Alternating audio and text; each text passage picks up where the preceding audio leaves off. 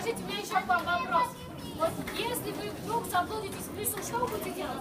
Кричать, кричать, что кричать? Ау! Ау! А вот вы кричите, кричите, вас не слышат. Что делать?